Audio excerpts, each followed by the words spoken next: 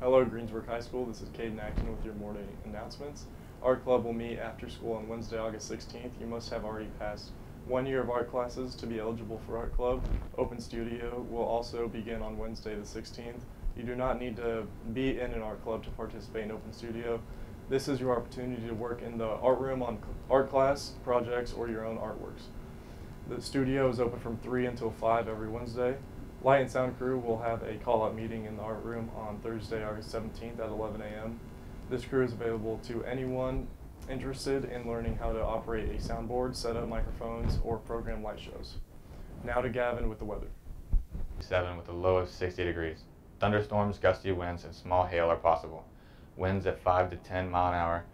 Chance of rain 90%. Back to you, Caden. FFA call-out meeting will be held on Monday, August 14th at 11 a.m. in room 411.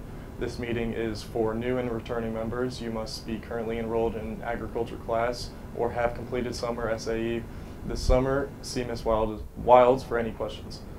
You should have received or will be receiving picture order forms from your English teacher. Extra forms are in the main office. School picture day is next Tuesday, August 22nd. Now back to Gavin with lunch and sports.